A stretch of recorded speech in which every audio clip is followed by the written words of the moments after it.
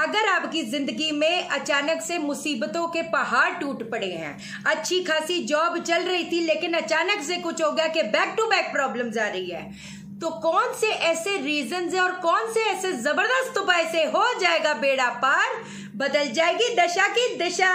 जानेंगे हम इस वीडियो में। लेकिन इससे पहले नमस्कार दोस्तों, मैं शाना सेठ कैसे आप दोस्तों? वीडियो के माध्यम से मेरी हर कोशिश की आपकी ज़िंदगी बेहतर, सुंदर माइंड ब्लोइंग ब्लास्टिंग था बन जाए।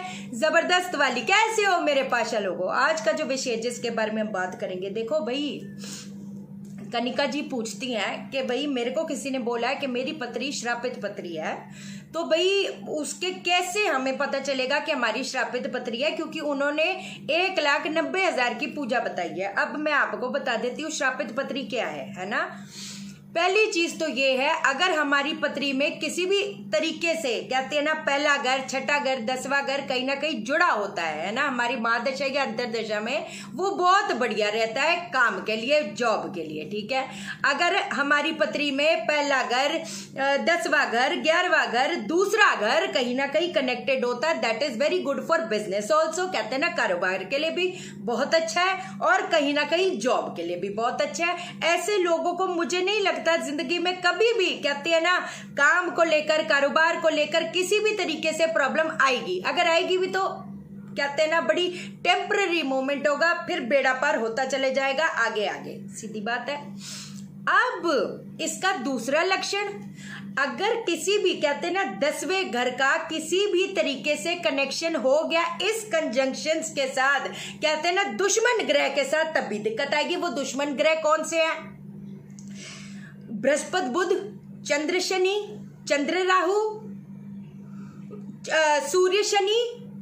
अगर ये कहीं ना कहीं कनेक्टेड हो गया तो एक इंसान के अंदर कितनी भी कैपेबिलिटी है, उसके अंदर कितनी भी हुनरता है, वो कभी भी कहते हैं ना सक्सेस उसको मिल नहीं पाएगी। कहा जाता है। सही बात है? लेकिन हम यहाँ पर प्रॉब्लम डिस्कस करने के लिए नहीं बैठे क्या? अरे अरे, ये हो गया। अब यह हो गया तो अब हम क्या करें? है कि नहीं? सीधी बात है। इसमें डरने की बात थोड़ा है। अब एक और चीज़ आपको बता देती हूँ। देखो, कितनी पते की बातें बताती है आपको। अगर अब भी नहीं समझे, अभी भी नहीं बचे इन लोगों के से कहते हैं ना, इतना डर के अगर बैठ गए, डरने से किस्मत चमकेगी। क्या मेरी, अब आपको बताती हूँ मेरी श्रापित पत्री कैसी है और इसके क्या लक्षण है, अब बताती हूँ। अगर तो कहते हैं ना, पिता का जो काम है, कभी भी सफल हो ही नहीं पाया। अगर पिता ये, क्योंकि ये जो लक्षण होते हैं, ये जो श्रापित पत्री होती है, अंधी पत्री होती है, या कहीं ना कहीं ऐसे कॉम्बिनेशन है, वो बचपन से एक इंसान को बहुत तगड़े वे में हिट करेगा। सही बात है? कैसे? बताती हूँ। अगर अगर आपके फादर का काम कभी भी काम कोई पनप ही नहीं पाया, अगर आपके फादर साहब ने बार बार बार बार काम कहते ना, बदले हैं, लेकिन नहीं हो पाया फिर भी, श्रापित पत्री। आपको पता चल जाएगा, आपको उसके सिम्टम से पता चल जाएगा, सीधी बात है। अगर आपकी पढ़ाई में हमेशा प्रॉब्लम्स आई हैं पढ़ाई कंप्लीट नहीं हो पाई श्रापित पत्री कहीं ना कहीं सिम्टम है। और अगर श्रापित पत्री नहीं भी है ये बचपन से आपको ये सिम्टम्स दिखाएगा। पढ़ाई मेरी भी कंप्लीट नहीं हो पाई। बचपन में भी दो तीन साल घर पे बैठी थी। आपको बताइए, कहते ना, छत पे भी नहीं जाती थी। दो बजे से पहले पहले के लोगों को पता चल जाएगा है कि मैं स्कूल नहीं जाती। चलो, जो भी जो भी, है ना? चौदह साल की थी, काम करना शुरू कर, बचपन से ही वो चीज़ें पता चल जाती है। घर पे आटा नहीं। श्रापित पत्री, ऐसा होता है, बोलने वाली बात नहीं। ऐसा हुआ है। ये मैं खुद इसकी कहते ना गवाह हूँ?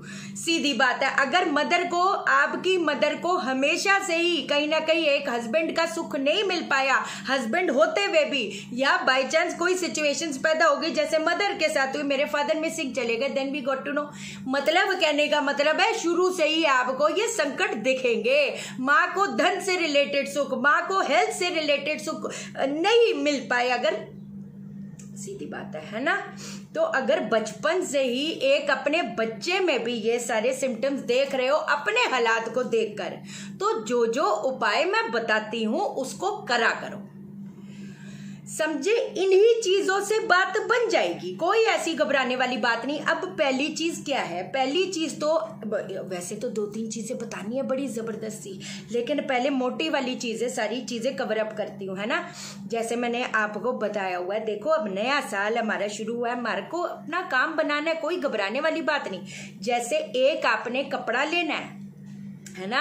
एक आपने कपड़ा ले लेना है कि मतलब कोई पुरोहित जी की या कुछ ऐसे करके, है ना? कोई अगर कपड़ा, पीले रंग का कपड़ा जिसमें धोती कुर्ता बन जाए, इतना कपड़ा ले लो। थोड़ी सी चने की दाल अपने घर से, कहते हैं ना, जितने घर बड़ी फैमिली है, सबसे भाइयों से थोड़ा थोड़ा थोड़ा पैसा लेकर जितनी अपनी कैपेसिटी है, उस पर रखकर एक छोटा सा सोने का टुकड़ा या छोटा सा पीतल का टुकड़ा, पीतल की चीज़ कोई भी कोई भी सोना नहीं अफोर्ड कर सकते। कोई बात नहीं, पीतल की चीज़ रख लो, है कि नहीं? अब इसको कहते हैं ना क्या कहते हैं, बाँध कर बृहस्पतिवार के दिन, कहते हैं ना, अपने सर के सब घरों के लोगों के सर से सात बार वार के कहते हैं ना, हर मेंबर इसी पोटली को सेम पोटली को, फिर जाकर पुरोहित जी को देकर बस उसमें कहते हैं ना, अपने मन से क्षमा माफ़ी मांग करके मेरे से या मेरे अनजाने अनजाने कोई भूल हुई या कुछ भी हुई तो मेरे को कहा। कहते हैं ना, ऊपर वाले को अपना तर्पण करके, कहते हैं ना, क्योंकि पास्ट लाइफ की तो चीज़ें हमको पता नहीं, है कि नहीं? अब प्रेजेंट की हो सकती है, कहते हैं ना, किसी के लिए कुछ नहीं यार, हर बंदा अपनी एक सोल जर्नी पे है। हर हमको जो वो चीज़ें मिल रही है जो हमने कहते हैं ना, शायद संचित कर्मों में जाने जाने कुछ चीज़ें कर दी हो। अब एक इंसान का चलना फिरना, लोग उससे कैसे करेंगे, वो लोगों से करेगा, सब तो ग्रह है। तो हम दूसरे को कोस तो कोस क्यों? हम ये सोचे कि आए उसका तो देखो कितना अच्छा हो रहा है। यार, उसके, उसकी पत्री में वो चीज़ है। वो अपनी जर्नी पे है। ना हमने किसी को कंपैरिजन करना, ना कुछ करना, बात खत्म हो गई। एक और चीज़ आपको बताऊँ। सड़क से, है? सड़क से सड़क पे चलते है ना? अगर कौए का, कहते ना, पंख मिल जाए, बहुत अच्छा मतलब बहुत अच्छा। मैं अब, मैं अभी जल्दी के चक्कर में वो दिखाती है आपको, मैंने कैसे अभिमंत्रित करके रखा हुआ है। कहते हैं ना, अगर बहुत कहते हैं ना, चीज़ें आसान नहीं होती। बोलने वाली बात होती है, ये जो चंद्र राहु, चंद्र शनि, इन ये जो कॉम्बिनेशन होते हैं, ये एक इंसान को डिप्रेशन से भी आधा मार देता है। मतलब कहते हैं ना, खत्म अंदर अंदर। वो कहते हैं ना फ़िज़िकल पेन तो क्या ही होएगा, जो एक इमोशनल पेन कहते हैं ना, वो सिचुएशंस आगे आएँगी, वो चीज़ें बनेंगी, आसान नहीं है, पर मुश्किल भी नहीं है। है ना? मैं आपको बताती हूँ। जैसे सड़क पे चल रहे हैं, पहली बात तो कौओं की सेवा करनी शुरू करो। वे, एकदम धाकड़ वे में। कहते हैं ना, जेब में, आपको एक बात बताऊँ, जेब में अगर अगर सौ रुपये हैं, और अगर आपने नब्बे रुपए भी कर दिया ना, ये क्या कहते हैं मतलब कहते हैं ना, जो ऊपर वाले की जो देन है उन पे, आप ये सोचना कि ये जो ये जो दस रुपए सिर्फ़ आपके रह गए, उसमें काम चला लो, ये एक बहुत बड़ा इन्वेस्टमेंट है। इसका जो ढूंढ ढूंढ के आपका पता पूछ पूछ के कहते हैं ना अपॉर्चुनिटीज़ आपके आगे आएँगी ना। खुद देख लेना। मैं नहीं बोलती सिर्फ़ आज करोगे, बस बस, देख लेना फिर। ऐसे, ये तो वैसी लानत वाली बात है। अब जैसे किसी ने बोलता, मैम, हमने कौए को रोटी खिलाई, अब कुछ हुआ तो है नहीं। अगले दिन ही, लै कमाल है। मैं आका, छोड़ो पर इसका तो क्या ही जवाब देना, है ना? अब कौए का पंख ले आओ ठीक है? अब आपने एक कटोरी में कक, वो जैसे जो मिले रास्ते से मिले ऐसे नहीं उखाड़ रहे हो कई लोगों का पता भी नहीं होता। भैया है कि नहीं? जिनके भी पत्री में ऋण दोष है श्रापित पत्री है बेड़ा पार करेगा जादुई काम करेगा करोड़ों का नग है ये। करो इसकी तो कोई मूल ही नहीं है करोड़ों तो छोड़ ही दो अरबों खरबों की चीज़ बताने जा रही है आज आपको।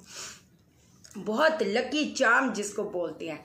कौए का पंख लाकर उसको गंगा जल से अच्छे से धो देना आपने।